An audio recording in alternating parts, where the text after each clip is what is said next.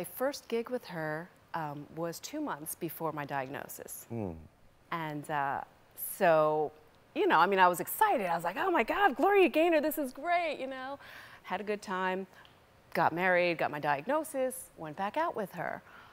And from that gig, every time we hit that tune, I start, you know, I get a little teary eyed. And, and, you know, she's, she's doing her little thing, and, you know, and then she does this, this flex, and, and then, you know, it's like, like, that's, that's what I need to be. Absolutely. I need to be strong. I love that. You know, I, I'm, I'm, she must be amazingly proud of you. And I know uh, if she were here, she would tell you that herself. Um, it's an incredible thing to hear, uh, and your relationship with her sounds so.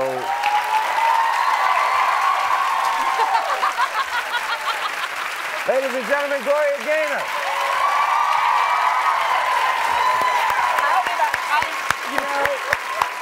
Uh, what does Kiku mean to you, Gloria?